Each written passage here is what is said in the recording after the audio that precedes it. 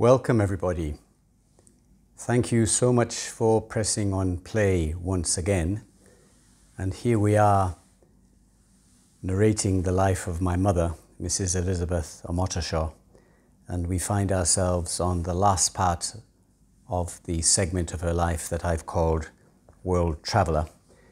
And just in case uh, some of you are clicking on this for the first time, I will do a quick recap as we resume our journey of my mother.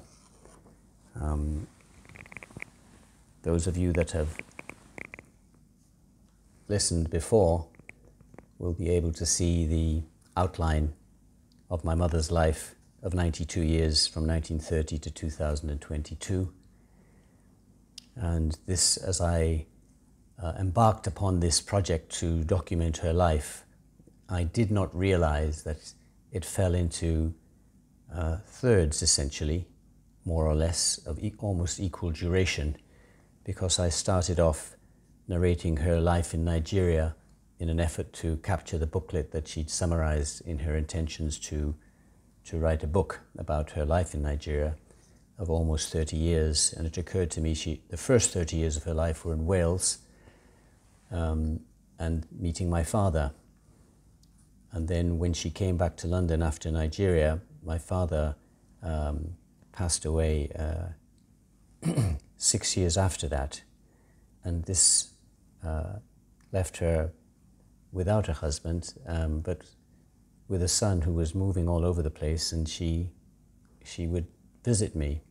And I realized she had 30 years of a world traveler before she lost her health at the age of 90 and had the last phase of her life. And this would be the last recording that I will do. But the last time I sat here, I almost covered this 30 year period of World Traveller. Um, but we had arrived back in London uh, in 2015, where my mother was no longer fit enough to fly around the world, and we embarked on some trips within the UK. And this will be the subject of my uh, narration today. Uh, Mum as world traveler, uh, but within her own country for the last five years of her traveling from 1915 to 2020. So I hope this is coming out clearly. And that's the, the master summary. Um, and it's the intention of our sitting here today with Mum's World Travels being effectively um, effectively summarized by uh, this uh, series of journeys from the UK out to Australia, Southeast Asia, Qatar, where I am now. Of course, the Nigerian uh, sojourn came first, the 28 years there, and now we're going to stay within the UK. But if you haven't watched any of the earlier videos, they cover all these journeys. Um, and of course, there's the special section on the life of my mum in Nigeria. Just for completeness, um, my mother also crossed to see her friend uh, Dorcas in 1989. She made it across to the American continent, and I'm very pleased that she got to see that as well. So that encompasses the, the travels of my mum, uh, for which I'm very, very honored to try to capture and show the flavor of her life. Um, but before I uh, do start on that, I would um, just like to say that uh, it's World Cup time here in Qatar. It's a once in a lifetime occasion, and I've talked with great pride about my mother's uh, life uh, growing up in Wales and the fact that I was born there and uh, the pride of my mixed heritage, both Nigerian and Welsh. But the Welsh is coming to the fore at the moment because Nigeria didn't make it to the World Cup this time, hopefully next time. And I boasted my nine games, the games that are circled, and I'm sort of showing off a bit because it's 13 games now. Uh, my company gave me the game for the Welsh Iran game, and I've purchased some more right through to the final. So we sit in this period of time here, happily waiting for the, um, the, the quarterfinals, two quarterfinals. I have two semi-finals and the final. So looking back on this years from now, um, if I ever watch this, I'll, rec I'll recall this very special atmosphere that we have here in, in Qatar. What an honor to host the World Cup. And uh, this is me outside my office, looking very proud with a huge Welsh flag sitting there, and that's my nameplate, Peter Omotoso. Uh, later on, we put up all the flags, but they said, go and put that Welsh flag outside Peter's office before we put the rest of them up. So that, wasn't that a nice, uh, a nice gesture? And then when I made it to the game, just to share a few more, I'm holding a little Welsh flag. I later bought a big one, but uh, it occurred to me I had a, a shirt with a dragon on, so I had two dragons uh, wasn't quite enough to defeat the Iranians, who scored two goals at the last uh, couple of minutes, which was rather frustrating. But uh, I sat next to some Qatar Energy people from my company because this was the ticket from my company. And then standing in the stadium, the massive brand new stadium, there I am with my big flag, just to share the theme of Welshness that's been running through the narration of my mother's life. And I watched as much of their games as I could um, and uh, we played England, and England, England defeated us.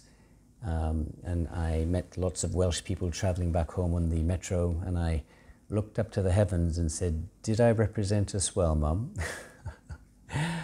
and I think I got a nod from all the ancestors saying, "You tried." So this was so so special. Um, but also now, uh, something I mentioned in the last segment was that uh, about my father, my father's mother, that we've concentrated quite a bit on my, my mother's uh, side of the, uh, her mother and father. And uh, you've seen pictures of my grandfather and one of my grandmother. Um, and I said that I, I hadn't shown my, my grandmother on my Nigerian side, and I did look and find the picture of my, my father's parents. So before we start on my mother's journey, um, I'm sure she'd be very happy for me to share these. And Dad, uh, too, of uh, the chief, which is my father's um, father, Bale, he was called. Um, he had two wives, um, and this was the, uh, I think his second wife, I think, was my father's um, mum. And you can see that she's a very good looking lady with even features, and you'll see later on how my dad, how she resembles my dad. So here are the parents of my father. What an incredibly special picture that is. See her features. She looks very young. And I remember the chief visited him a few times up in the second floor of his big house in Alafara, in a part of Ibadan. Um, and if you just focus on those features, you can see a picture, the earliest picture I have of my dad. Look at this picture. Isn't this amazing? You can see the nose, similar to his mum. I really want to show off for dad today. So there he is. Very smart, smart as a tack. And at this stage, he'd, he'd met my mum. And I think they're probably engaged because this looks like graduation. This be graduation in Nottingham. He looks very young. You can still see the resemblance to his mum. And I put it to the jury that my father became more handsome as he went along. Um, but first of all, I'll show you how accomplished he was. Look at our house in Ibadan, just filling some of these in. When we came, uh, moved finally to Ibadan in 1967, 68, I've mentioned how we loved that house. Look at the grand, grandness of it. Massive compound. It wasn't. It was too big to call a garden. It was called a compound surrounding it. I, I just come back from um, North Wales with my mum because we'd gone there for the war for one year in 1967 to escape the Biafran War. So, how accomplished my father, what a life he gave us. And then later on, this picture, look at this amazing picture. I went to Nottingham University. I went to the same hall of residence as my father, Hugh Stewart. I was enrolling to start, and they came to see me enroll before we headed off to for a holiday to, after we'd had a holiday to Rome, 1977. Look at that. We're a stone's throw from my, my old room. And my father went there too. It's a hall of residence. See how dapper my dad looks. And mum looks quite 60-ish in a way, but it's 1977. Our afros are gradually shrinking. Richard's is shrinking. Simon still has a fairly big one. Look how accomplished he was. And whilst we were living in Nigeria, um, whilst they were living, Dad would go to various parties. It's not a great snap of my mum, but she still looks glamorous, but it's my dad I would, I would like you all to see. Cocktail party with work. Mum complimenting Dad ever so nicely. But I'll focus in on Dad's face. And I'm sure he'd be very shy, not shy, but self-effacing as I say, see how handsome my dad was. That's how I remember my father. And I think his looks matured into someone that was very, very attractive. What a couple, eh? What a couple. And I'll end, I showed my father's house uh, where we lived, but he had another house. And here it was, he opened a cafe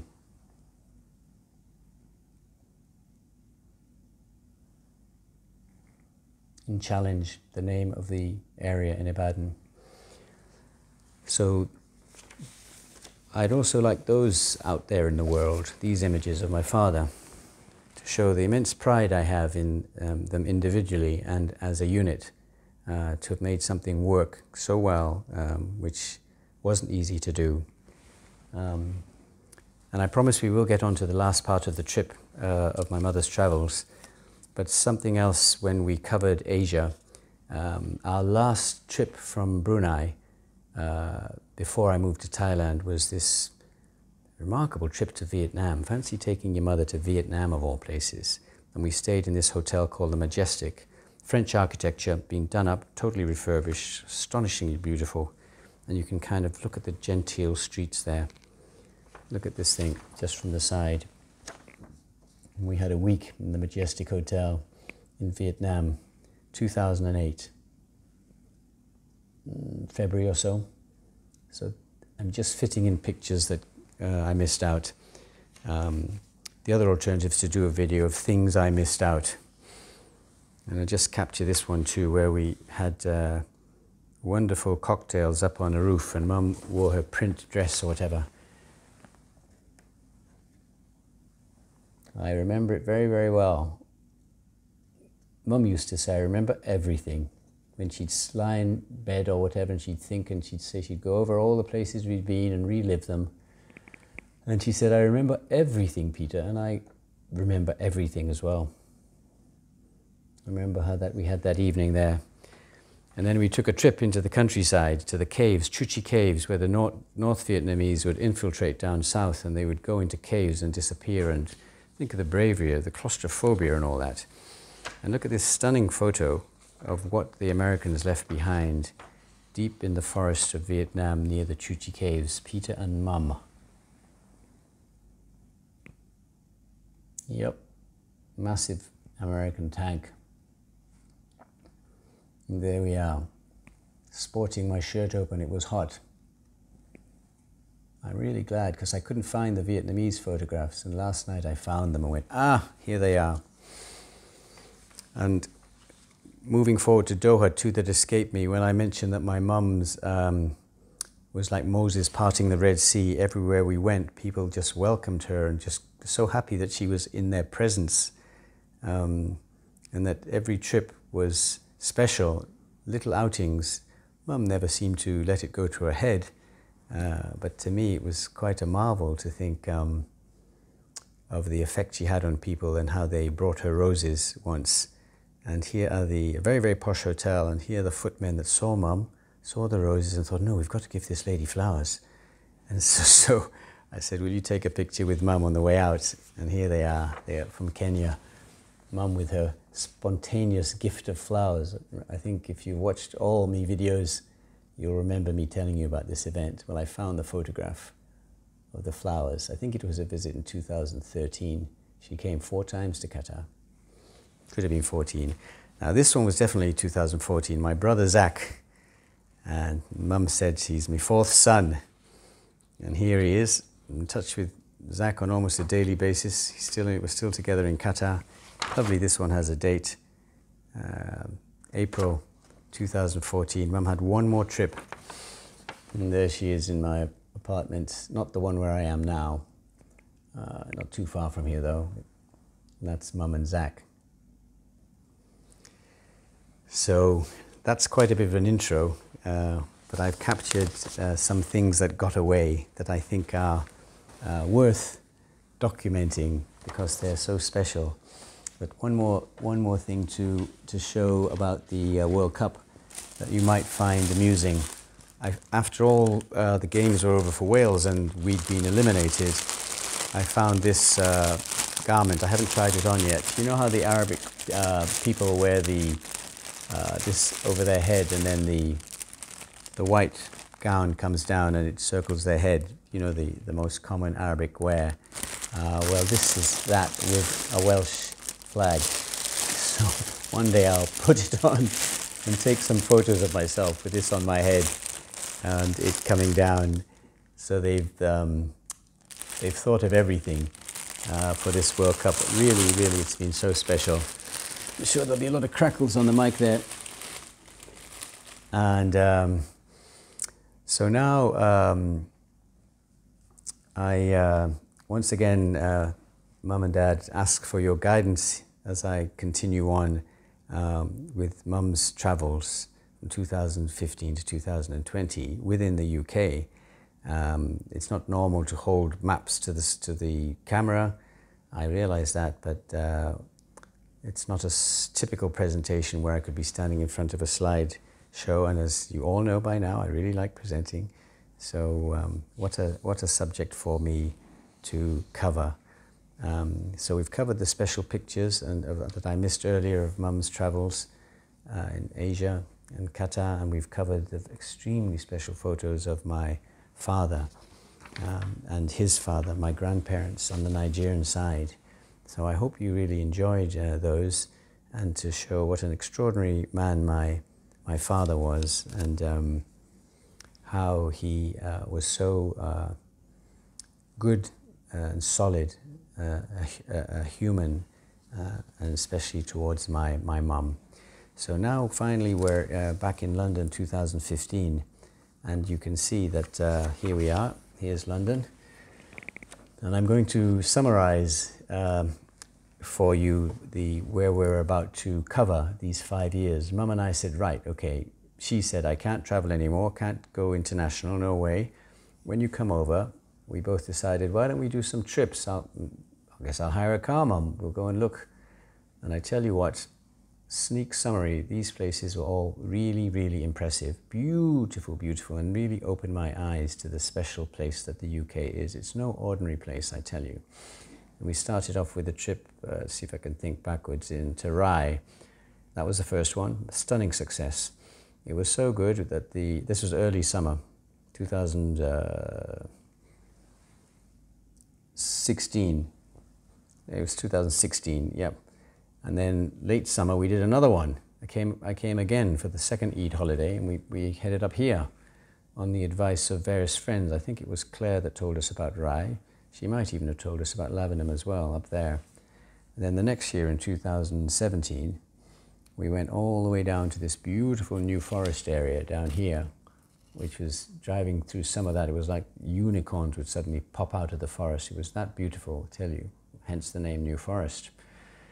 And then we ended up in uh, Ash over here and did a whole lot of coastal stuff um, in Mollard Manor. Each time we stayed in very posh bed and breakfasts, boutique bed and breakfasts, and spent five nights each time, which is about long enough. We'd head off on a Sunday and we'd come back Friday evening.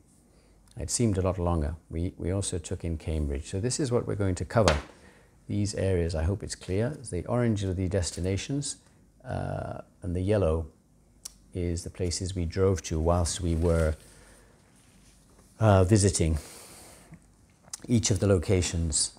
Um, so starting off with uh, Rye, here we go, bigger map, homed in a little bit, drove down, two, three hours to get there, uh, not too far, uh, just about doable to get there in time for uh, in the evening. Um, and then we would, uh, or, or even after, even a late lunch, in fact, as you'll see, because that's what we did when we went to Rye. And then we traveled all around on day trips as far here, all the yellow shadings, Devil's Dyke, uh, and um, we had some water beach scenes um, in the uh, Eastbourne, Hastings, Folkestone, and my eyes just opened wide. So the best way to show you, because this was the first time I'd had a holiday uh, with a car fully at our disposal, apart from the North Wales trips, which you've heard me say. And so the best way to perhaps uh, uh, show off how sweet these holidays were is uh, some photographs which are worth a thousand words. So first of all, you enter the main street in Rye and you can immediately see the charm of the place. And I encourage any of you to, who haven't to visit these places. They really are really, really lovely. Um, the only problem is the battling with the weather, as we know, is the, the blight of the UK. But there you go, you can start to see the charm. It just so happens that this is our hotel, the George. Very nice. There it is there, the George. You'll see a little bit more of that later on. Um, and so I, um, we put our bags in the car, walked down the street further. You can see the charm of the place and headed for this pub here. That's the first thing we did. And awaiting us, because we'd booked was this amazing Sunday lunch with roasts, um, uh, Yorkshire pudding and a roast. And I said, I want enough gravy that I can get in the Yorkshire pudding and sort of row down the, a river of gravy like a boat, I said. and that's how much I want. Um, and you can see there we are dining uh, on classic British Sunday lunch, which was amazing. Afterwards, we had sticky toffee pudding, which was absolutely phenomenal. And on the advice of Richard, my brother, who told us uh, that this was a beautiful place, we took a very long drive, and it was raining as well, in our nice Mercedes A-Class rent rental from uh, Rye all the way to through the top part here to Brighton to a place called Devil's Dyke to have a view down from the dyke across to the sea because it's a high, a high area, Devil's Dyke. What an interesting name. And we did do that, and here's Mum standing at Devil's Dyke, looking a little windswept, but we made it, and it was very memorable. So there was that. We drove all the way back. One of our other drives, I don't remember the particular location, you can see the classic architecture. Where else can you see something like that?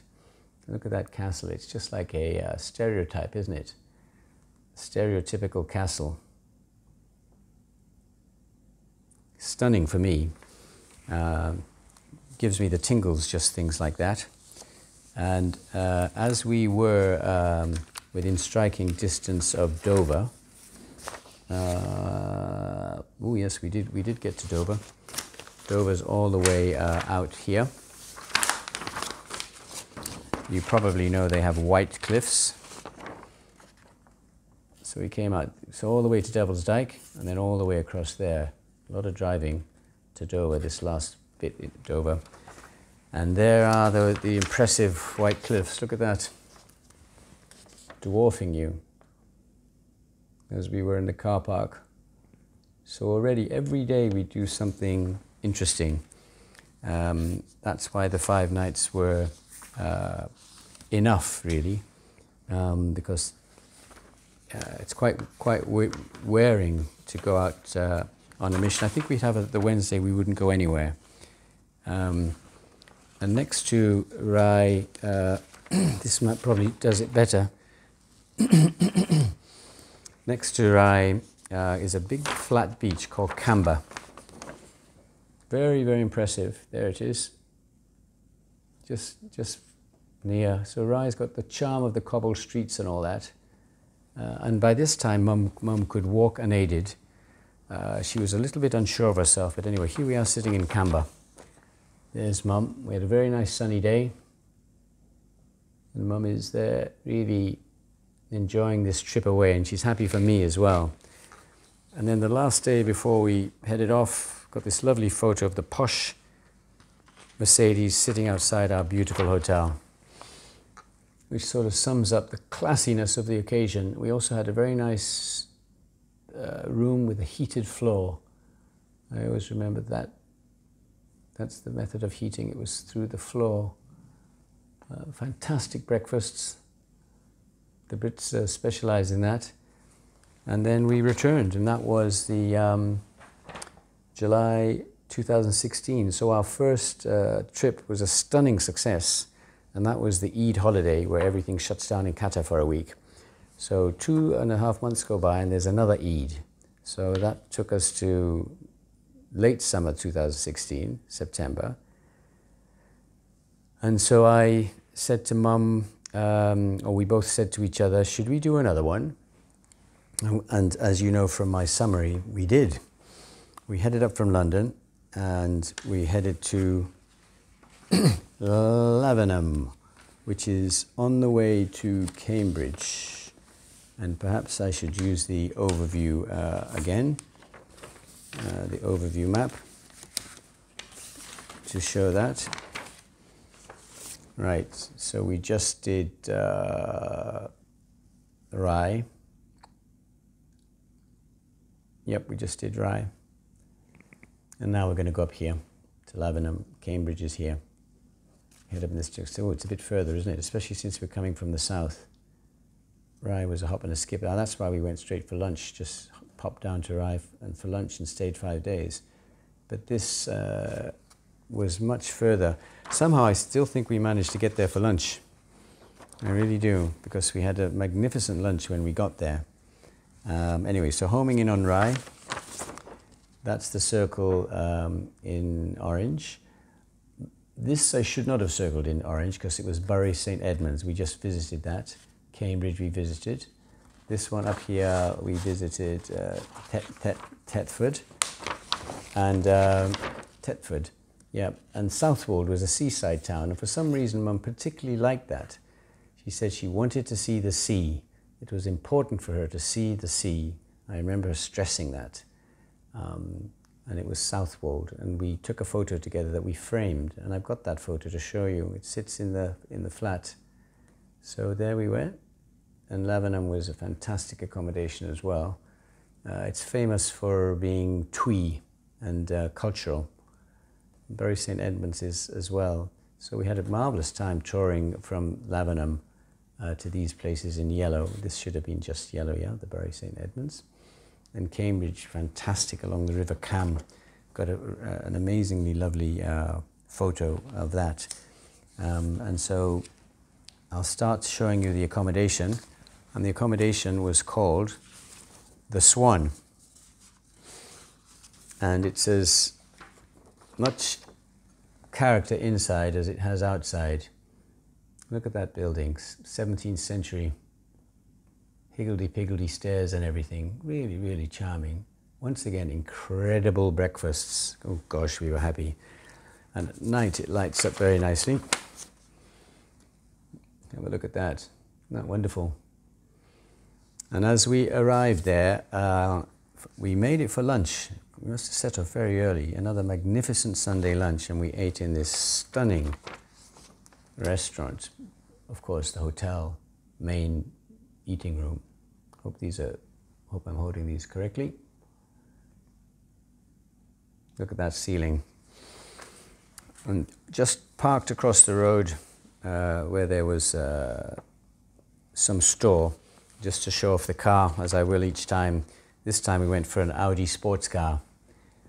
Now that was very powerful and uh, well appointed, both a little bit low and cramped for mum, but you see she could still manage that at 86. Not bad, eh? Getting in and out of that at 86. I certainly enjoyed uh, learning about the modern cars.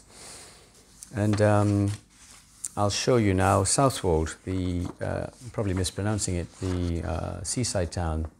And there's Mum and I standing at the end of the pier. And we framed that photo. For some reason, she was happy to be in this town. There we were.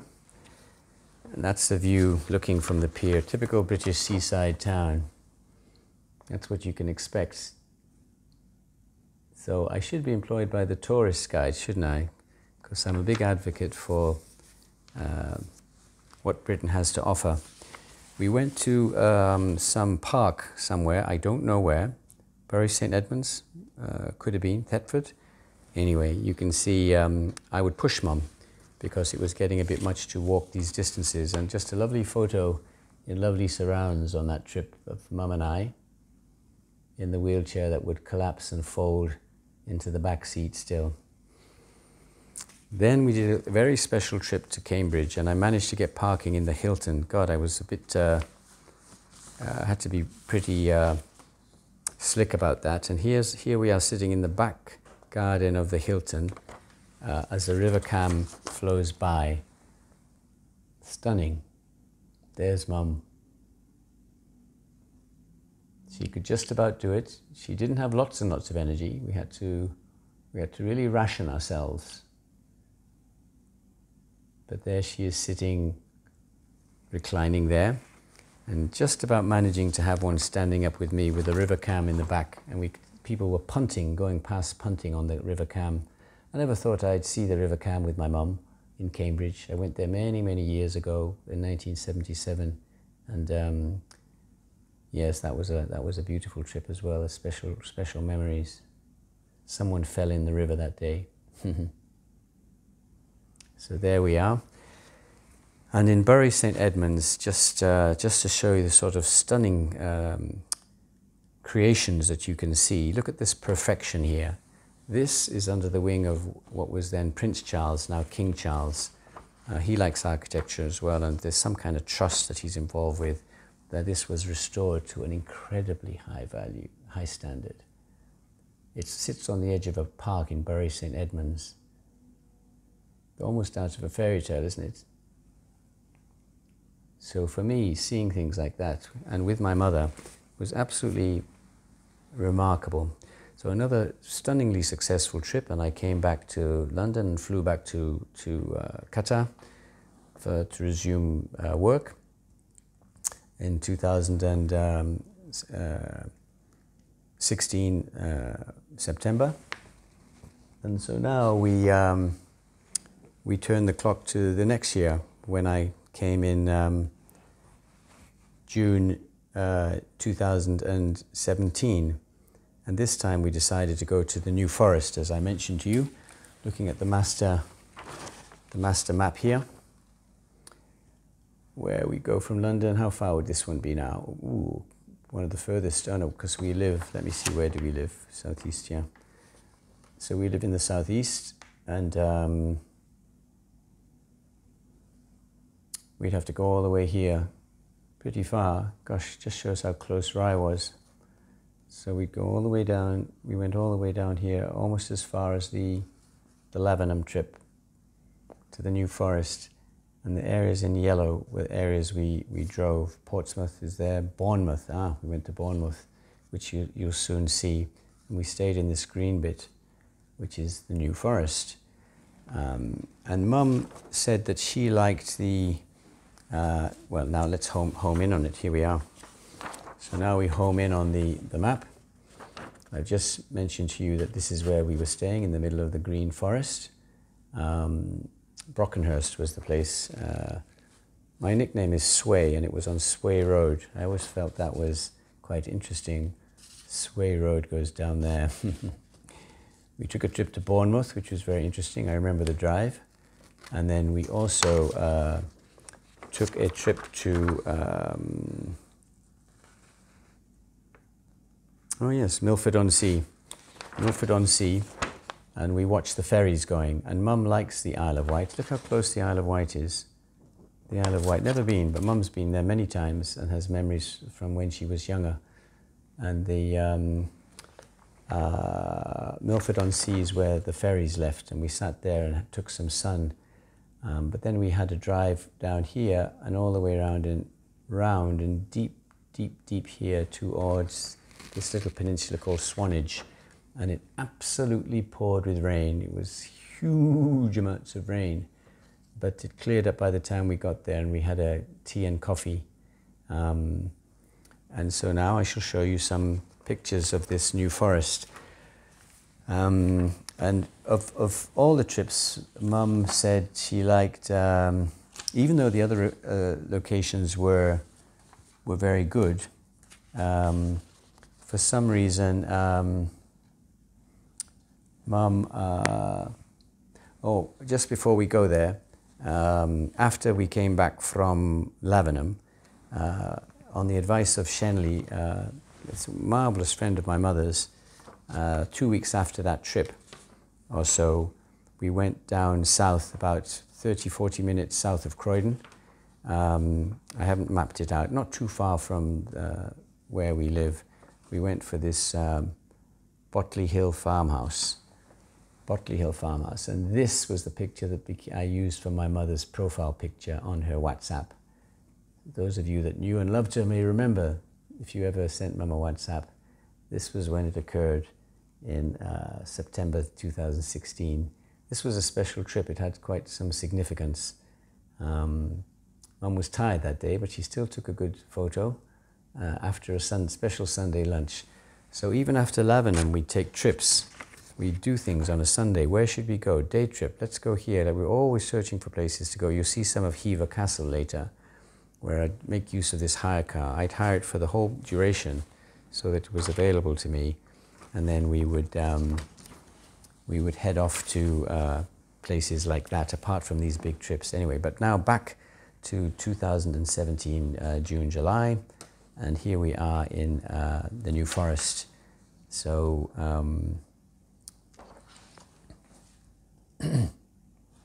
I tell you what, I, I uh, I still can't go to the New Forest yet. I jumped ahead of myself because um, uh, I mentioned that we went uh, to uh, the Lavenham in September 2016 in the second Eid holiday. And then I've told you we went on this day trip to uh, Botley Farmhouse, this one. And then uh, I came for Christmas in 2017. Um, and so I uh, hired a car and said, Mum, let's do some trips. Mum was a little bit negative about it. Oh, it's so cold and everything. And we drove around, um, set off early, and had some really, really nice bleak trips through forests with just like no uh, leaves, and they looked just like twigs or sticks, a very stark contrast. Somehow it was uh, bleakly beautiful. And she, ad- she admitted later that um, she'd been overly negative and she enjoyed it. So these are the uh, February 2017 winter trip where we stopped at a pub and had a very nice photograph which we put in a frame later on. See mum with her pose and her pearls and smiling perfectly there. Man, she could take a photo. So that was just a, a stopover as we drove. Uh, what was the location we were driving? Somewhere that was within, could have been near Box Hill. Um, and then on the way back, we stopped at another pub and took this rather famous photo, which we also put in a frame. Um, there we are, sitting, mum smiling, and we've got that mural it's sort of growing out of our heads there. Many people like that photo, and uh, I've made a frame of it. And then we took a trip to Crystal Palace Park in that same winter, And look at mum with her hat and scarf. At that charming photo of my mum. February 2017.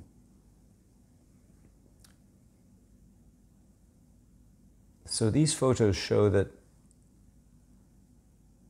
we'd finished with the big international trips, but we were still the traveling team, either for big five day trips away or anything we could get our hands on. All I needed was a rental car, and it turned out I was quite good at reading maps and uh, finding my way around, no issue. Uh, Mum used to marvel, so how do you, especially that first trip to Rye, she said, How did you just take it under your belt, Peter? So I was lucky that that uh, came easily to me. So now finally we get to uh, 2000 and uh, June, July 2017 after the winter, after the, uh, the February uh, 2017 winter snaps. I had gone back to Brunei, uh, to Qatar and come back and now finally uh, showing you the New Forest. So as I mentioned, Mum liked the New Forest uh, accommodation. It was a converted house into a bed and breakfast with two extraordinary uh, staff, the husband and wife team, who, who had done it up to literally a five-star standard. It doesn't do it justice from looking at from the outside. And the breakfasts were famous. My God, did they do breakfast? They beat all the other breakfasts, even though those were hands down. So there it was, Daisy Bank Cottage. Boutique, very boutique. Fantastic service, amazing breakfast, lovely room. And now we'd finally wised up and said, well, for heaven's sake, mobility issues, Peter. This wheelchair is very necessary. Let's get ourselves an X-Trail. And this was the car that impressed me the most. Parked right outside our room. Absolutely fantastic. Uh, Nissan X-Trail. I can only imagine how advanced they are now because I, I found it such an advanced car. And so there is our bay window. You can see the, um, just behind the car is, we could see the car from the bay window because there we were in the front. And uh, it's funny I didn't take the bathroom, all the posh baths and all the tiled floors and everything it was completely renovated inside. So this was the, this is our room. There we were. You can you can see the sort of bay window. So we'd come back there every night, and um, we'd find somewhere to eat, come back there, sleep, and then wake up to the fantastic breakfast. Amazing she could keep doing this at 87. She really, really tried. So now the New Forest, what can we say? Let me give you one picture which probably summarizes some of the things you could see within the New Forest. Well, mainly it was the trees, but I haven't managed to capture those, but look at the pristine nature of that. I hope it's coming through. How serene, how amazing, how British, how English even. So for any of you that haven't made the adventure, um, and perhaps the COVID forced people to stay within the shores of the UK and made other people appreciate it. I'm not sure. Um, and so I mentioned uh, the uh, watching the ferries head off to Isle of Wight. Um, and this is where we were. Mum was taking a rest in the wheelchair. Um, and so we had coffee there and watching the ferry depart, huge thing. And then I took this photograph of mum. So I was pushing her more and more by this stage. So those are some of the images of the trip um, to Lavenham, uh, to the to, sorry to the New Forest, uh, June July 2017. And uh, so next uh, uh, have I skipped any? Um, oh, yes. Of course, the two very important photos. I mentioned Bournemouth. Bournemouth is very important. It's a huge place. I met a, a lady, an American lady, come to watch the World Cup, and she studied in Bournemouth. I met her two days ago, and I thought, my God, what a small world. So here we are at Bournemouth Pier because we took a day trip to Bournemouth from New Forest. You've seen from the map, it wasn't far. And once again, you can see Mum's effervescent spirit, uh, determined to be jovial, because uh, she wasn't feeling so strong. Um, but look, I'll, I'll get a little bit closer, and you can see her friendly nature, having a bit of a fun with the person that was going to help us take the photo. So there we are on Bournemouth Pier. We just had a coffee and a pie or something, and I remember Mum wasn't quite the best, but she perked up uh, at that time, and I pushed her all the way back and into our waiting, our waiting car. Uh, we were determined that nothing would stop us from our uh, our journeys. And that's just to show you again where, where that was. Bournemouth. So we were staying there. And we made the trip to Bournemouth all the way there. And I showed you Milford. Keep forgetting the name of this. Milford on Sea, where we were watching the ferries. And we traveled within the forest. You've seen one of those beautiful pictures. And then um, we uh, took the rainy trip all the way down to Swanage, and I have a picture of the car that I'll show you in Swanage. So here's Swanage. Swanage was quite interesting, showing off the X Trail. I think Mum's sitting in the X Trail. So there we were, admiring the that part of the world. You can see it had been raining somehow, yeah? Um, and that took us to uh,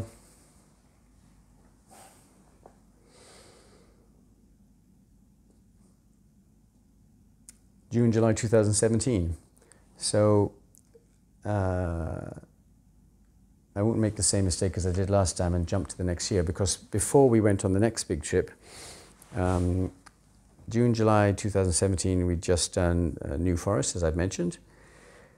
So um, in September, I came again and we did uh, Hever Castle. We didn't do a, a, second big trip, but we still did a, a, a full day trip to Hever Castle. And how interesting for me that I've managed to chart the route 58 minutes only 23 miles. Wow, look at that. Only 23 miles away, 58 minutes. So you can see if you've got a bit of an imagination, there's plenty of places to go. Now, mum was doing it for me. She says, I don't really need to see another castle, Peter. she toured castles with kids and trips till she was blue in the face, and she'd seen lots of them, but they meant more to me because I got quite a buzz out of all these things. And there, there was the entry to Hever Castle. And I think the reason I chose to even show this was I'm very, very happy with this photo. Look at this photo. Oh gosh, and with my mum and the background, because Hever Castle had lakes and gardens and all sorts of things. It was beautiful, beautiful, beautiful. But isn't that a keeper? And once again, you can see my mother's face charming, photogenic beyond belief. I used to wonder why she was so photogenic. So I think it's very beautifully framed, very rare, like a mystical lake, like out of some science fantasy movie. Beautiful. What a great memory. September 2017, Hever Castle. So, have I missed anything else out? We went to a famous uh, Art Deco house. I, I couldn't uh, find the name. Uh, what a pity. But it's just uh, quite famous, and it's about seven miles from us, within London itself. Some millionaire's house. Anyway, I'll just show it anyway. You can catch a glimpse from the ceiling that there's some Art Deco magnificence going on there, owned by some very famous people. So that's another little day trip we did. And then that uh, finished off 2017. So mum uh, and I both knew, and especially mum, that she probably had one more trip away in her because it was strenuous to wake up in the morning, tour around uh, the countryside, come back, sleep, and have a huge breakfast. we couldn't resist the breakfasts. Those would finish us off. We used to have the breakfast and go back for a little bit of a rest into the room and then head off for our trips. So managed to find one more posh. Uh, I'm not sure who gave us the pointer on this one, but after a little bit of research, you can see London here, and we headed off to a little town called Ash. Nothing famous about the town, but the accommodation had been an old building that these people had lovingly turned into boutique bed and breakfast. But it turned out to be a good trip because there was so much coastal work. Look at all the yellow shading where we went. My God, Mum said she'd like to see sea. We certainly did. I'll have to rattle off some of the names. You'll be very familiar. Whitstable, Herne Bay, where Mum had a friend, Margate, Broadstairs, which was quite beautiful, Broadstairs, Sandwich, which literally was the Duke of Sandwich who invented the sandwich, literally. Then Deal, we went to Deal and we went to Dover again. And we passed through Canterbury. So just all within that little space, all these famous places. Um, quite, quite, quite remarkable. And of course, I've expanded on them. So there they are, once again. Canterbury, Whitstable, um, trying to read it backwards. Herne Bay, Broadstairs, West Westgate on Sea, Dover down here. And we visited all of them.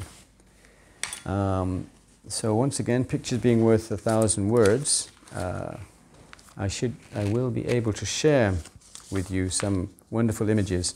So as we drove down to Ash, to our uh, posh boutique bed and breakfast, always heading off on a Sunday, we thought, look, it's a bit, uh, we won't race down there. We'll stop at a nice pub and have a Sunday lunch on the way down. And I got this, I think, very, very nice photo of Mum, once again. Look at that portrait of her. Just having had a, a very satisfying lunch, looking slightly tired.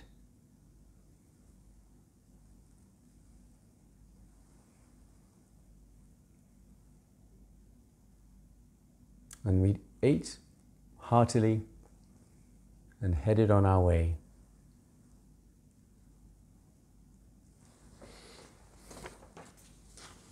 So, and this awaited us, Mollard Manor which was done up to a very high standard, another posh boutique bed and breakfast. And let me get this right, that was our room. There we were, we had a fantastic room and it looked out uh, to a lovely view. Um, it really was great, with very nice, friendly staff. Fantastic. So we chose well for Mollard Manor. And on the advice of uh, Kate, not too far from Ash, and I haven't had time to look it up, is a river, uh, a fairly famous river. Don't tell me it's the beginning of the Thames or something. Um, anyway, we took a trip, and for Mum to negotiate the uh, to get down there was not easy. We had to go downstairs, um, two three flights on the side to get down this embankment to the river. And oh, we, uh, we thought, no way. But mum refused to give in. And just step by step by step by step by step, we kind of helped her down. It's remarkable we even made it. But anyway, we took the, the, the, the trip in this boat. There are lots of rushes coming up along the sides. We sometimes couldn't see much, but the rushes, they were quite tall. But on the way back, we took this photo in the boat, more like a barge type thing. There we were, sitting in our boat after our trip.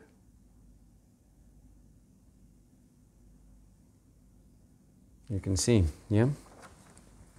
Um, so we did uh, enjoy that, and thanks, Kate, for the heads up about the, the river trip.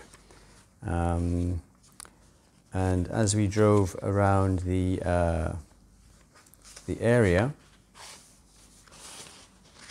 um,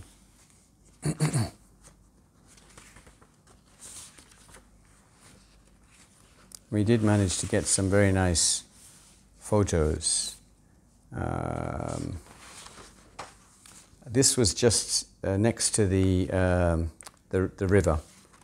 Uh, adjacent to where we'd gone for the river was this uh, house, stately home, house and gardens, and my God, they were outstanding. This picture doesn't do it justice at all. You can see Mum in her wheelchair because I would push her around. Of course, she could walk, and her glasses to protect her eyes. Bless her. It was absolutely stunning, I have to say. The colors, the picture, picture perfect. Really, really amazing. So I hope by now you can start to see that uh, there's some tremendous sights and sounds to be seen around the UK. Um, and um, this, uh, this one uh, would show mum, well, first of all, I'll just, I'll say, let's show off the car. This time we got a uh, Toyota RAV4. I wanted an X-Trail, but they didn't have X-Trails. Still quite good. Toyotas, of course, great cars easily fitted the wheelchair. So this was our metal steed pointed out to sea. Remember, there's so many seaside locations. I'm not sure which one it was, um, but you can see typically what one of them might have looked like. There you go, your pebbly beach, a classic British or uh, English pebbly beach with no sand. Still looking quite full of character. And then this nice one of Mum in the car looking out again to yet another sea scene. That's the, her vista. That's how she enjoyed herself. And we'd stop for toilet breaks and we'd have coffee. We had a flask. We had sandwiches. We were very organized. Um, and then we got to see Dover again because it was within striking distance. And this time you can see a little bit more of the white cliffs of Doha. Not Doha, Dover. I've been here quite quite a while. White cliffs of Dover. There's not a cliff inside here. So that was very, very uh, special. And there's something I just want to check here in real time because this next photo was um,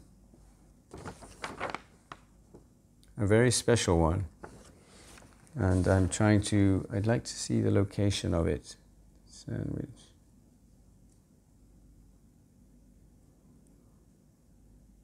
Ah, yes. Yes, I think that's right. Gotcha. It was in this it was in this area. I told you we went down that river. Now I do believe that river continues and somewhere within this green area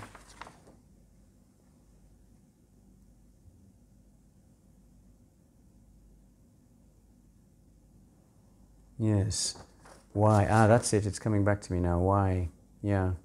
Somewhere within this deep green area, there were there were scenes of extraordinary beauty, and that same river uh, occurred somewhere within here. And that's where I got this photo, which I think is just absolutely stunning with the river and the bridge. With tea and scones, riverside, in a very lovely pub.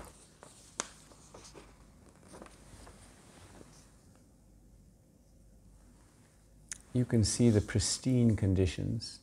It's picture postcard, isn't it? The river, the weeping willow, the bridge, the tea and scones, the wonderful mum. Look at her face.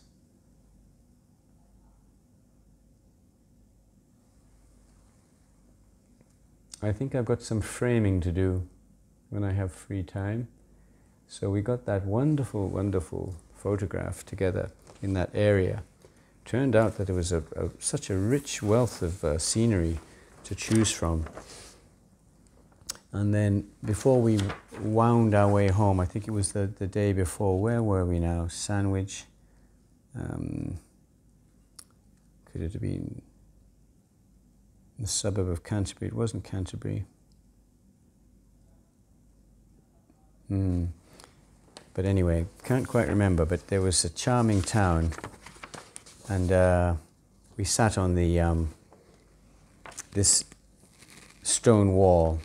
Look at the and look at the bricks that the church is made of, the stones.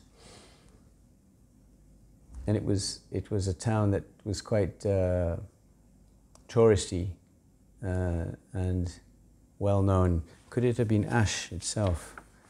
As I check. Could it have been Sandwich, maybe? Anyway, it was nice, even though I don't remember the name. And then we said goodbye to Molad Mana, and as we, it was my birthday. So it just so happened on the 22nd of June 2018, that was the morning we left. And we said goodbye and we took a photo at the, at the, at the gate, at the door, uh, as we headed into our car to head home. Mum was struggling at this stage and she wasn't feeling too good, but she, her energy was low, but she managed to, uh, we stopped and found somewhere for my birthday dinner on the way home. And this would have been Mum and I's last birthday dinner outside, I believe, because this was our last big trip. Uh, and here we are, still the same day, halfway home, 22nd of June 2018, Peter's birthday with mum, having lunch, dinner, sorry, on the way home. Mum just hanging in there. Um, and I hope these are coming visible to you. So it was a nice memory. Um, and uh,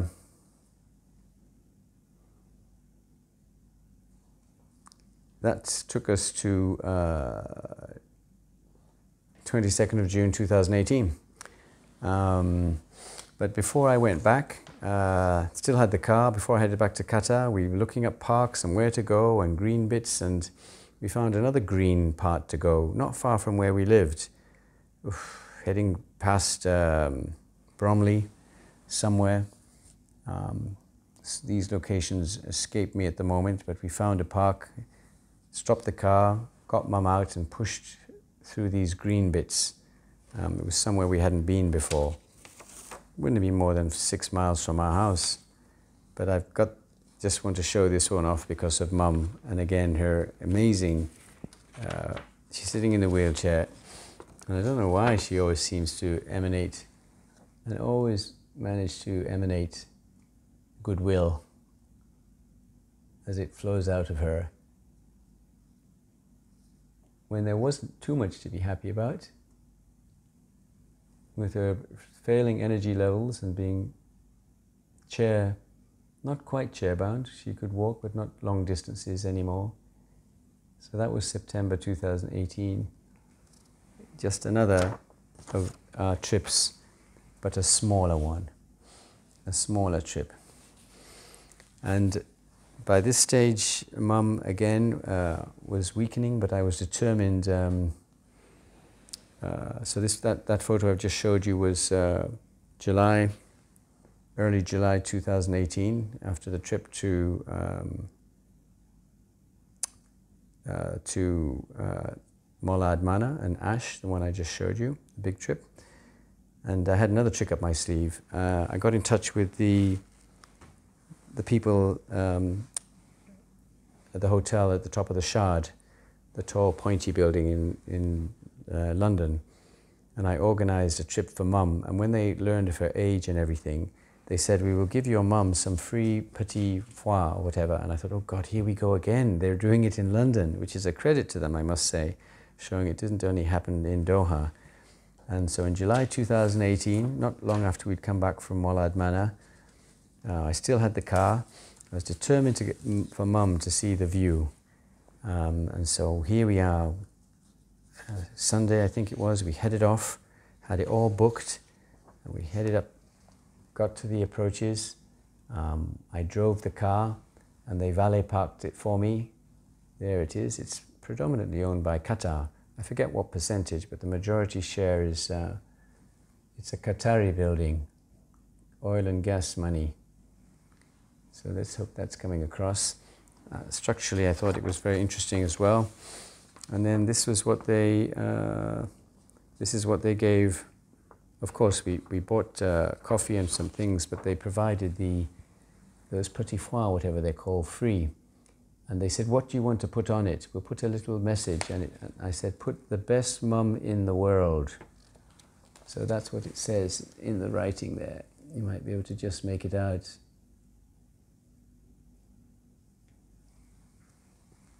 And going up in the elevator, mum found it hard to stand for too long. She's never been able to stand for too long. So it took, you know, not say a lot out of her, but she had to sort of steel herself to pull the trip off. But my gosh, I think it was worth it because here we are eating our little petit foie, looking down, right down on the River Thames. So she got to see, I was determined she should get to see this view, the best view in London. I wanted her to see it. So there she is, and sometimes just enjoying it for the sake of me, I'm sure. It was a memorable trip. And I got another photo of her in the foyer, which is equally as impressive. And you can see there she is, with London at her feet, before we headed back down and hopped into our car again. Everybody was so kind and nice. And it was great to be a tourist with mum in London. Um, July 2018. And I'd say that this was my last trip out with my mum when she could actually walk or stand. Because in the next summer of July 2019, when mum had said, Look, I have to hang up my, my shoes, even for these week long trips just like five, four years earlier, I hung up my travel shoes for, for flights, international flights. And instead, Richard and I, Richard treated me to a trip to Poland for some, uh, a long weekend. And so I did get to go overseas the 2019 and, and travel, but not with mum. She knew she couldn't do it. She stayed in so this trip to the Shard, 2000, July 2018, I would say was my last outing with my mum, uh, where she was able to walk, go under her own steam. Um, but what a trip to end with. July 2018. Um, and she was 88 then. Um, and it was beginning to show uh, that you can't be uh, getting about uh, that easy when your energy is, is low. Um, so the next phase of my presentation to you from that July 2018 to uh, May 2020, uh, when my mum turned 90, uh, July 2018, 2019. To, so then we've got a year, we've got two years to cover. And those two years I shall call uh, staying in Marlow Court because um, this uh, truly then would take me to the end of the, uh, the phase um, of Mum's, uh, what I've called her uh, world traveler. Um, and I have included uh, it as, as world traveler because um, if I can just find the uh, summer, summary here. Just give me a second. Yes, oh, I found it. because the last part of mum's life starts in 2020 when her health went down due to her fall. And we are still in 19, uh, sorry, 2018. So we've got two more years to go to finish this world traveler part of my mum's life, even though in those last two years she wasn't really uh, world traveling. Uh, but she was still able to walk um, around the flat. She could go for little trips, um, but the trip to the Shard was, I counted it as the last major trip because that was a big trip to go there, park, get out, valet park, go in the elevator, walk, sit there, come back. It was, it had many, many parts to it. So anyway, from July 2018, uh, when we did that trip to the Shard, to um, her her birthday uh, in 2020 when she turned 90 was a year and a half period which I've called staying in Marlow Court. And I just want to show Marlow Court because now remember mum is this is going to be where she stays. Um, and then um, he, this is a bit of a cheat because it's from 2016. It's from, it's from two years earlier, which is fine. But it just shows Marlow Court. It frames mum in front of her Marlow Court, which she so wisely bought in 1977. It says Marlow Court there. And she's standing, probably about to see me off as I travel.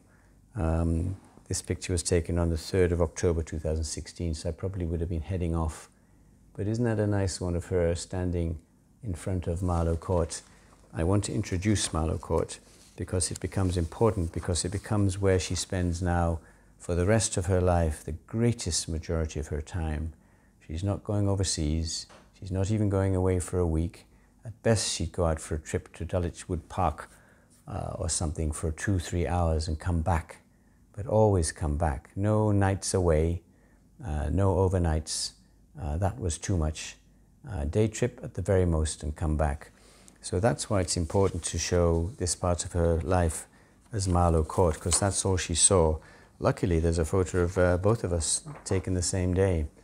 Um, how, I, how we pulled that off, I'm not sure. I must have been not leaving, but there we are, two of us again standing outside what will now be where she will remain for almost the rest of her years within these walls of the flat of Marlow Court. There she is. So I think that's uh, frames uh, frames it quite well. Um, so now, while she was inside the uh, flat, and in fact, let's uh, let's just go a little bit to um, to the uh, maps to show where uh, where Marlow where Marlow Court uh, is. Ah, we did have one trip to, to Box Hill, um, but I will show that later on. Uh, we had previously had a trip to Box Hill, um, which I didn't feature because, of course, we can't feature all all of the um, all of the places. But what map to show you? London, yes. So London, um,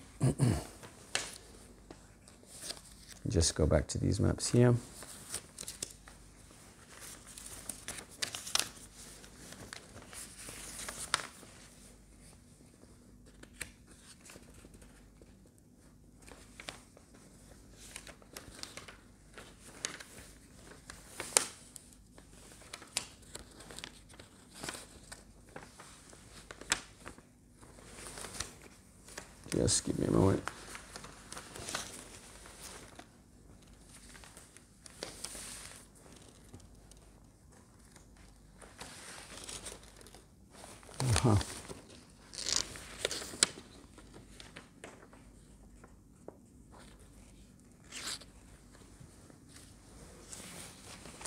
I shall show you the, the south of London.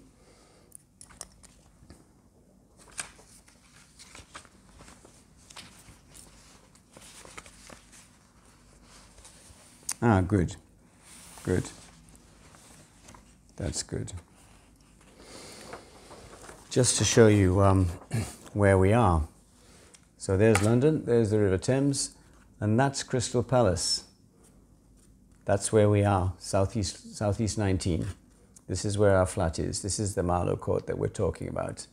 It doesn't show the complete uh, top part, northern part of uh, London, but there's Islington there, Hackney. Um, London, of course, extends a little bit further to, to the north, but you can see the Crystal Palace. This is what I'd like to home in on, Crystal Palace. So, uh, if we home in on uh, Crystal Palace, uh, yes, I really had to set the scene because otherwise you don't know where we are in London, but south of the river. And um, I'm going to home right in now on the Crystal Palace area. Here it is. So that you can know where mum spent so much of her time. Uh, she bought the flat in 1977, but now we're getting to the stage where that's all she sees. This is now the, the uh, Marlow Court part of mum's life. So there we are, tucked uh, next to that bend. This park is famous, and you, this will feature a little bit. It's the Crystal Palace Park. It has a lake there and a special uh, theme of dinosaurs, which uh, you might see later on. Um, I think Mum chose quite well. Uh, there was a number three bus to Brixton and all the way to Oxford Circus. And we would have a uh, also uh, um, I'm looking for the um, the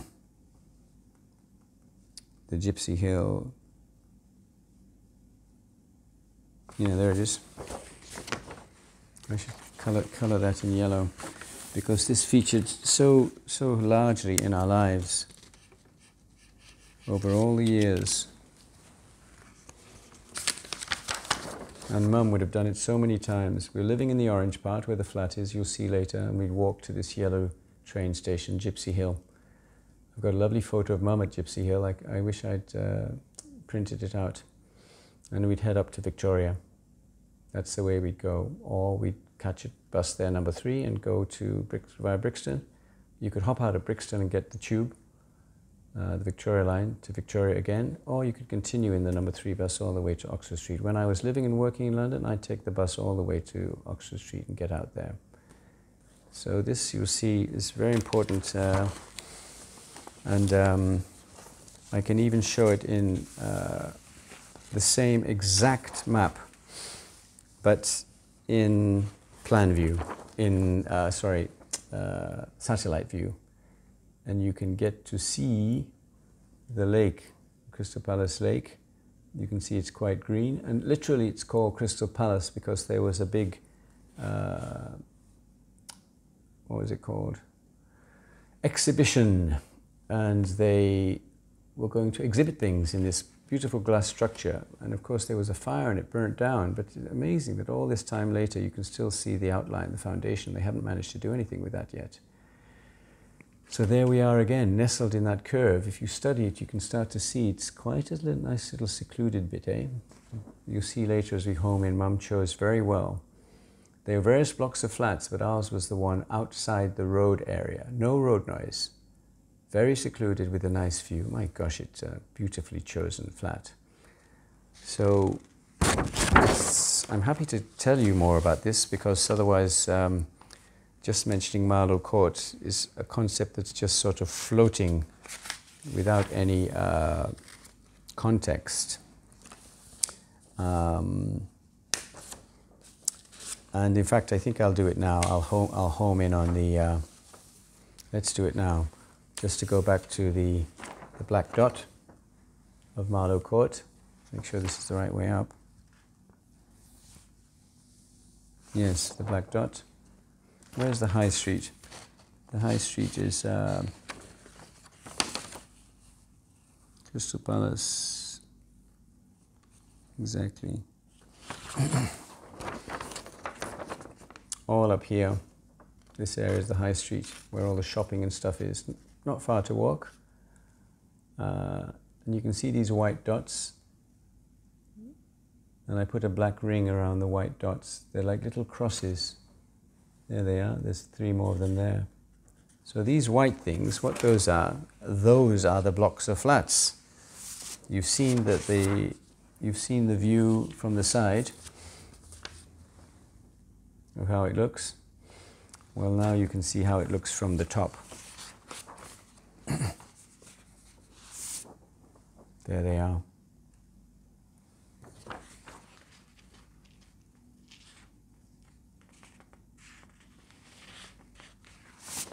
There they are. I think uh, 20, 20 stories? Not more than 20. We know someone on the ninth. Mm, 15 stories high? Something like that. Fairly high. This road sweeps down here, affecting this, this, and this with traffic noise, but not us. We're right in the middle. It even affects this one. Let's have a look. Yes, it does. Because the road sweeps down. Yeah, the road sweeps down here and affects this, this, this, and this. But we're completely secluded. And our block is, uh, yeah, this is our, this is our block. We are on that uh, side here. It's hard to imagine it. Um, yes, it is. That's it. And so we look out, later you might see the view, we look out to this secluded round bit with people just walking past. Very, very nice. It couldn't have been chosen better. It's just a perfect uh, outlook. Very quiet. She did very well. A very, very nice uh, place to be. So this is the that's the, um, the Marlow court that we inhabit. Um, and uh, so I can share with you now those years uh, still managing to have joy with the uh, mid 2018 to mid 2020, these two years when mum was more or less housebound, but not really housebound, because she could still walk. But we have, uh, so now moving ahead six months to the Christmas of 2018, I come again. And look at this amazing spread of festivity that we managed to put on.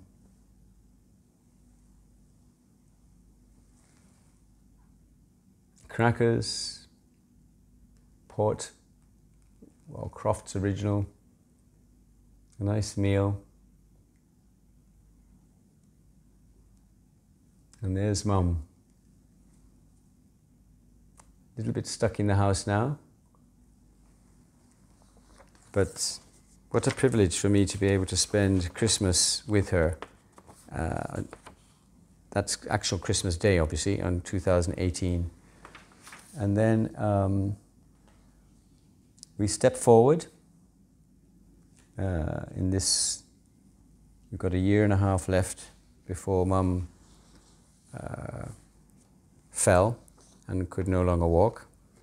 So, so we step now to uh, my birthday, six months forward from this Christmas picture. Now it's 22nd of June 2019. I've come again. I've come again to the UK. I'm making it a point to come every six months routinely, without fail. And this is my birthday, and I do believe this would be Mum's very last trip to the grave. I don't think she ever came again because if it was any later, it would have been too cold, unless she made a trip after I'd gone. But if she didn't, this is potentially the last time. I know she was even struggling to stand very comfortably at that time. And I always used to think that one day mum would be in that grave, and I knew it would have been in her mind. And that could this be stopped? How could that be? And I, I guess we all struggle with this. It's an unfathomable thought. But she bravely came so many times to visit my father there, put the flowers, sporting her uh, animal jacket.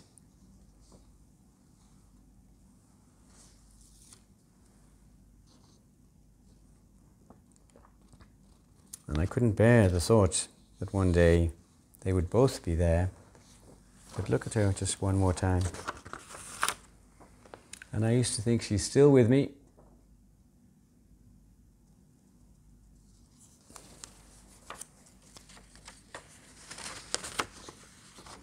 So that same day, we would have got home, and Richard, my brother, took this one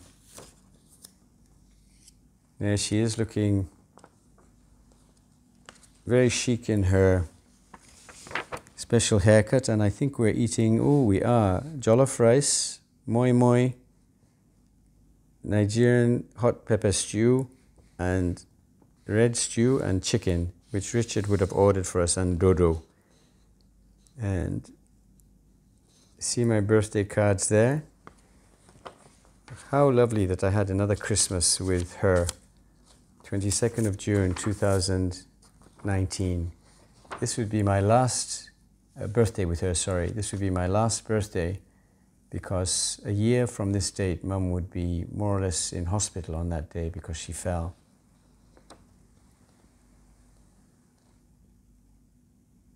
What a wonderful honor to have that birthday with her. And if I hadn't have done this project, all these things would have been lost, just sort of memories as I said, we don't have time to go back. It's a luxury, I know. But for my mom, to document her and her beauty, it's something that benefits even me. So, the last birthday, sitting at that table with her.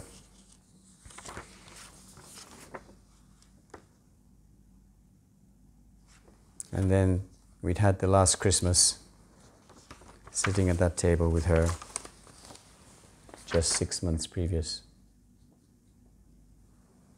Oh, that's not true. Why did I go back? Forgive me for that. Last birthday. Need to go forward, need to go forward. So that's uh, June 2019. So now, uh, skip forward six more months now. I do apologize once again. This is very important because this really is the last Christmas. This is the 25th of December 2019. So my mother fell in May 2020 after her 90th. And so I'm honored to have another Christmas with her uh, in Marlow Court, where mum is mainly always in. She wasn't sporting the shortest haircut this time. And I think all the staying in, it's not that easy for her. And here she is. We have flowers, Christmas presents. I gave her a salt lamp. I think there's a calendar there. And so there we are, enjoying a Christmas together. Most fortunate. Most fortunate. I always would wonder is it, is it our last? And uh, so that was the Christmas day itself. And then New Year came and went, and this was the 5th of, uh, 5th of December, 5th of January, sorry, of 2020. I would have been uh, about to go back, and uh, there's a series of nice photos uh, so these photos would be have been the last photos I took with my mum while she could still stand and be of her own mobility. Because very shortly after they were taken, I would have gone back. And I never saw her again able to walk because during that absence, she, she fell uh, before I returned. By the time I returned, she'd fallen, and COVID was about to hit us. COVID was about to come. So this 5th of January photo I'm about to show you was the last because she had her birthday in May uh, 2020, May the 8th, and she fell on May the 30th, 2020. And I was locked out of the country to even get to see her. Um, and I didn't see her again till September 2020 when she was in very poor health. But I'm making another video about that, the last two years of her life. Uh, separate video of those last two years of her life, of her ill health. Um, so here, here it is. There are three of them. They're similar. Cheers, Mom.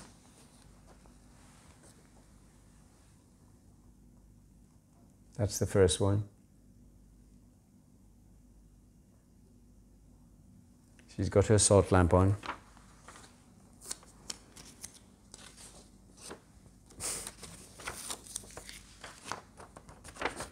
Effervescent mum. Always ready to put a brave face on it.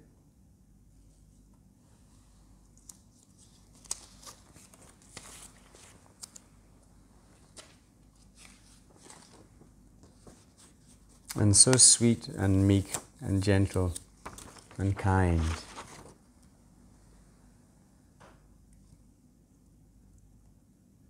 Cheers to you, Mom.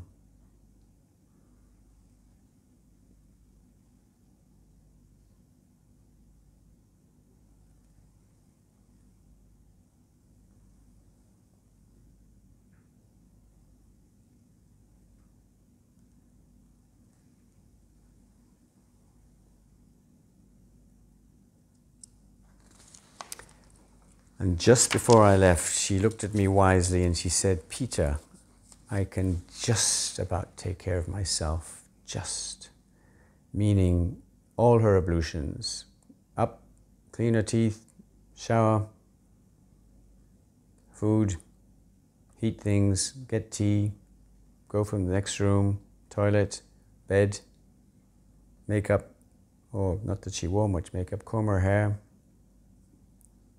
and I looked and I thought, what are we going to do? I was thinking. I didn't know what we would do. Little did I know she'd fall and need tremendous amounts of help, which will be the subject of another video. Um, so I printed these out today because I thought, let me cover the last part of my mum's healthy life in Marlow Court. Uh, that takes us to January 2020, um, almost before her birthday, um, on the 8th of May, when she had a magnificent uh, honor as she turned 90, as the whole community gathered uh, at a specific time, 11 in the morning, on her birthday it was uh, VE Day, celebrating the victory in 75 years of victory in uh, over the Germans when they surrendered. And Mum would have been um, seven. What a joyous birthday she must have had, as I've mentioned. And they waited and did the two minute silence, and Richard got Mum to come to the window and said, Look. And then they burst into song Happy birthday, Betty. What a well deserved honour. And people not only came from the Marlow Court block, but from the surrounding houses. And uh, if any of you are on this uh, site where you're clicking on this video, uh, there is a link where I've posted that video that someone kindly captured of that day of mum being honoured. Uh, it's really worth watching. And then the camera goes up to our big bay window, and mum goes, and I go, My God, it's the Queen. Mum's queenly properties were there. Uh, and so, um, with that, that takes us to uh, the end of uh, Mum as world traveller. Um, And uh, I will have another video that I will do um, where I will capture the last two years of mum's life uh, when I describe uh, her changes um, as a result of the change of her health um, and also her last years um, and her final resting place uh, to document where her final resting place was. Um, suffice to also say that uh, Mum did, she did pass away.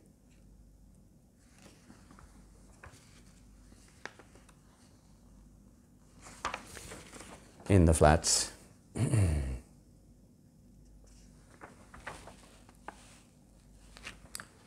the orange looking from above. And that's where she she passed away. Um, but I shall I'll leave that for the final uh, video that I shall record. Um, and she had one more trip uh, from Crystal Palace all the way down to Box Hill. Even within those two years, we did one last trip. But to be consistent with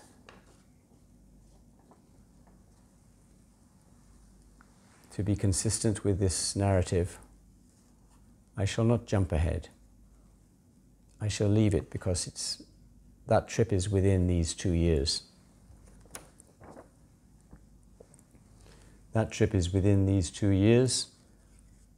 And even though there was a little bit of travel that we still managed to do, even with her very poor health, I shall leave that for new mum, as I call that section, in my final recording, because now we have come to 2020, uh, where I've described the Christmas, uh, New Year in January, um, with the last cheers as I left her, a toast to all our travels.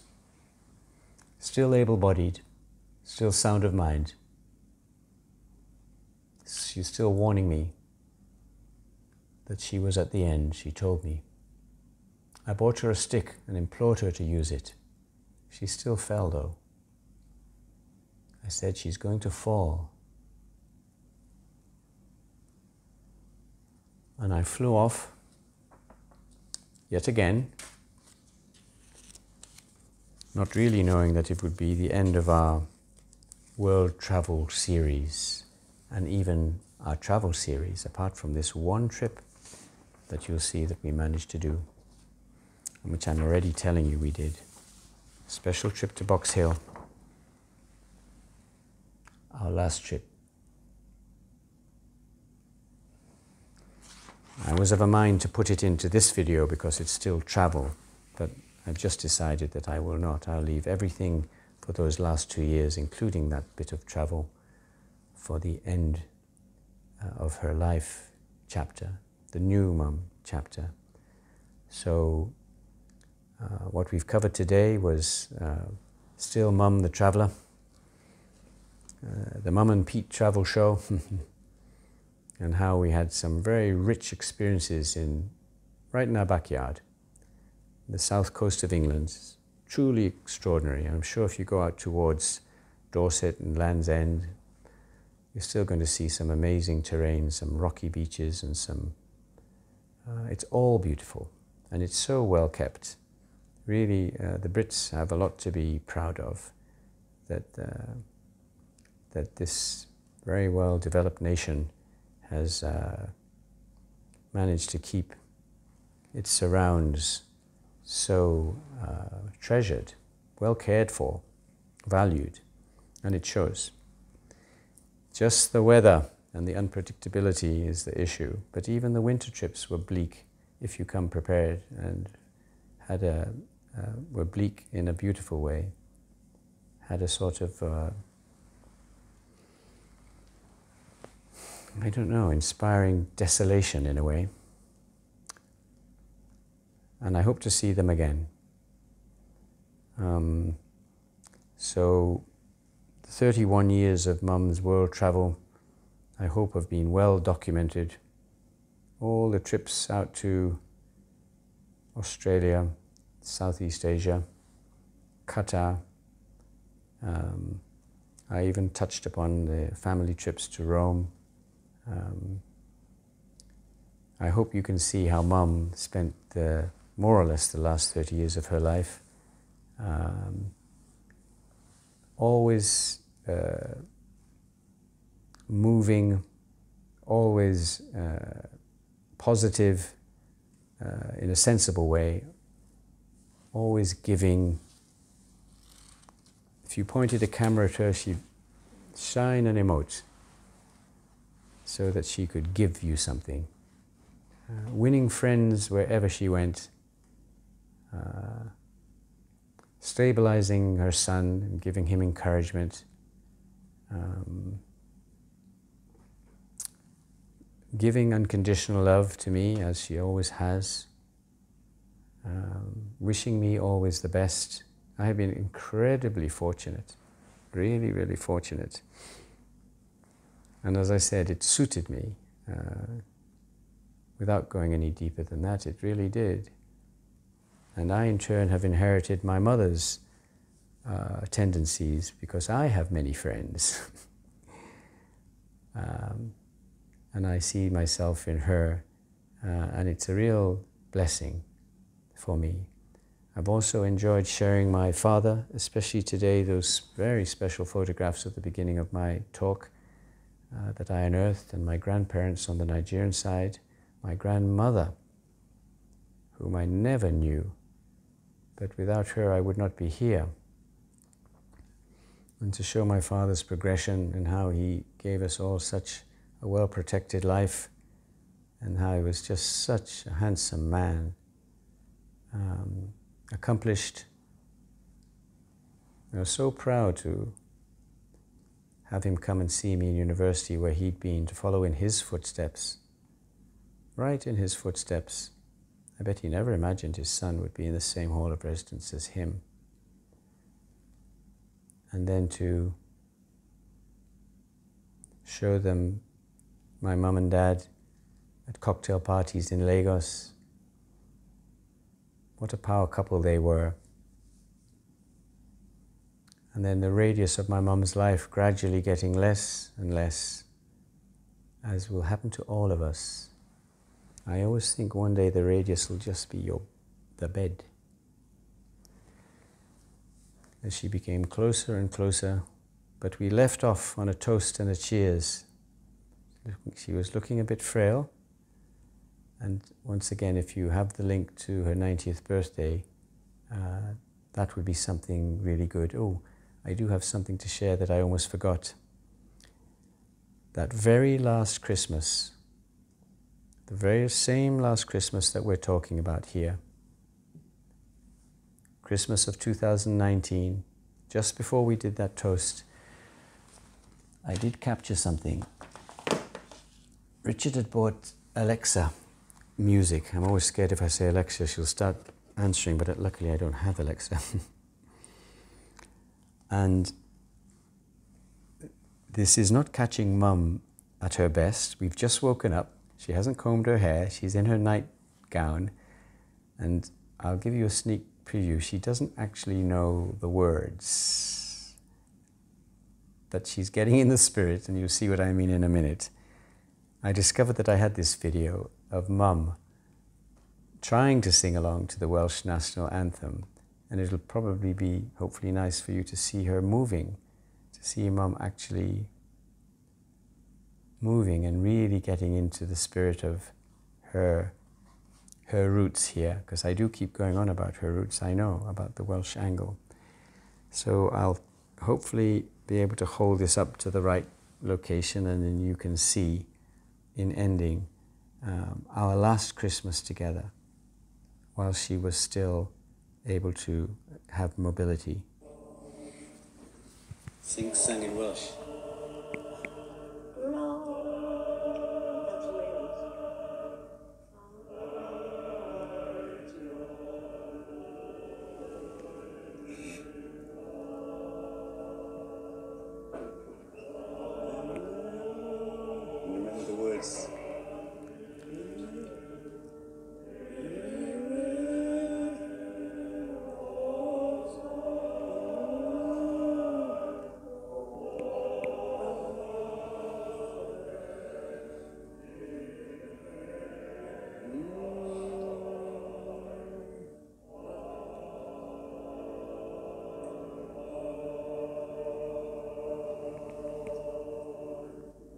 Wonderful. That's Auntie, knows, Auntie Nancy and David Squire. That's the one. Yes, I remember. That's right. Isn't that oh, amazing? I could have been. Oh, Rhos. fantastic.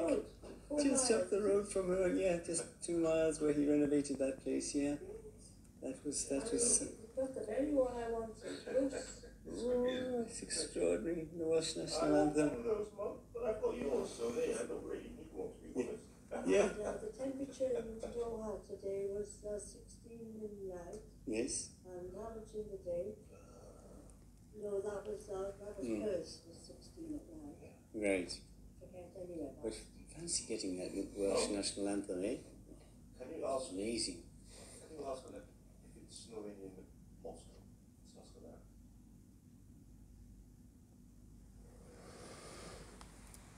So you can see a very happy moment there, and uh, with the family and with mum, uh, very near to Christmas Day, looking a little bit not quite ready for the day, but I'm sure you've seen her other beautiful photographs. Um, uh, that more than balanced the fact that she was just straight out of bed and slightly disheveled there. But such a joy for me to hear her speak and uh, remember her love for uh, music and that national anthem. I tell you, when I heard it sung uh, on each occasion at the World Cup, oh, unbelievable! Um, and the crowd. Um, even though there weren't that many Welsh uh, people, there were fair few, fair few, I take that back, but my God, they sang their hearts out. And at the end, when it was all over and the team was going to have to go home, the team came close to where all the Welsh stand was and they sang that national anthem again and some another song. And you could hear it resonate. I filmed the whole thing because I was a distance away across, but I could zoom in. And um, I shall never forget it and, that national anthem uh, resonated. So this was also uh, picked by the same choir, the Rhos choir, up the road from where Mum comes from for her uh, at her funeral service, uh, picked by myself, but uh, sung by the Rhos male voice choir. So I'm glad that I remembered to show that an ending to Mum's uh, travel days that are now uh, so complete. I think she'd uh, say to you that she was uh, also blessed and happy to have had such um, experiences around the world and able to spread herself. For some reason, it's important for me to show where Mrs. Omotoso went. Where did she go? What did she see? What did she do with her embodiment? Where did those legs take her that in the end could no longer take her anywhere? What did she use them for in all those 90 years to see? And what did she accomplish? Um, she maximized her potential. She did. She was a living example of um, how uh, to use everything you have towards being fulfilled and grateful and uh, therefore emanating that state to others who are near you. And it sort of reverber- reverberates, reverberates if everybody does that, sets up a sort of standing wave. she was contributing to that. She was contributing to that um, okayness. Um, when she was negative, it was always because of she was overly practical sometimes, and but it was this deep sort of uh, sensibleness uh, that uh, meant don't take risks you'll regret sometimes. And as men, we found that slightly different to the way we were wired. But other than that, she was sweetness and kindness to all that she met. And I think she really enjoyed all her travels. And I'm also pleased to say she traveled as much as she could with Dad. She was always planning these coach trips and going around. If Dad had not passed away 18 years ago, there would have been much less to the Mum and Peter travel show and more with Dad coming, as he did come twice to Australia. Um, he would have accompanied her where possible, um, but it was not to be. So thank you. Uh, you see, I end slowly because I make sure I don't want to leave you. I, and I want to make sure I don't forget to share uh, aspects that later on I'll have to make a video that just adds all the bits I missed. But I think we've captured um, Mama's World Traveller. In fact, I'll just end with this, showing this. A series of Mum with Wales meeting Dad, well covered. Nigeria is there. The booklet is available for you to click and read or hear me recount it in video uh, and read it out. We have this where I've made three separate videos to cover these 30 years. It was far more ornate than I imagined. And then New Mum and Mum's final, final journey. Um, I shall make that uh, and I shall start, when I start that, I shall start uh, talking about uh, Crystal Palace again because it will feature very heavily uh, Marlow Court. Uh, because, of course, by now she's really housebound in Marlow Court. But we've ended the World Travel Series where she's, the last two years were um, in Marlow Court. And not really traveling very much, but I was very glad to share birthdays with her Christmases with her that I've even forgotten about in those last two years, and her visiting her beloved Femi, his grave for the last time as well, and to capture all those uh, moments. So uh, it's two hours uh, later uh, from the beginning of this video. Thank you once again for your kind attention and interest in the life of Mrs. Elizabeth Betty Omotoso and listening to me share uh, these stories um, and share the photographs in an unconventional way by just holding them up to you and talking at them. I hope that somehow the essence of mum uh, enters into this and someone gets uh, something out of this story um, of mum's life. And maybe when I, my subconscious gets to work on it later, I'll go, ah, I need to, because none of these four parts were planned. I only planned to do the Nigerian story and then the rest grew. I especially wanted to cover her roots and then I literally wanted to show off what else did she do? Well, she traveled all over the place, really, and always getting people gifts and sending postcards and forever sending cards and bringing this and bringing through. When she was with me, she was always thinking about others, always, and writing and communicating, and she was never into herself. She wanted to share what she'd seen with others. So I learned greatly from my mum, and I watched how people loved her. I just watched them love her. And I learned a lot. And so, through my project here, uh, through learning more about my father and mother, and I realize how fortunate I am to have them in me. Um, and my gratitude for them knows no bounds. I am forever in your debt dear dad and dear mum, and filled with gratitude uh, for what you have given me. And may I continue it further and pay it forward and uh, be of service as is required in this world in the right way and be a tribute to you and both sets of grandparents as well, whose shoulders I also stand on. And I'm glad that I got to show you my father's mother and father this time as well. And so thank you for this uh, opportunity of the project that just grew legs by itself to showcase Mum. I feel very satisfied that there's an artifact being left here that shows Mum that she does not go quietly into the grave, and neither does my father. And my next and last recording will be on Mum, on how her beauty radiated in another yet different way in her last two years, and hence that video will be called New Mum. Thank you, everybody, for listening and your kindness.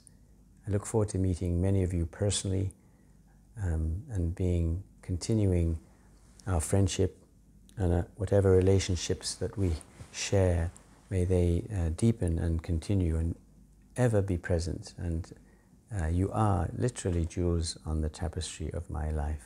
Literally. Thank you so much for you and um, for your kind attention. Blessings to you all. Goodbye for now.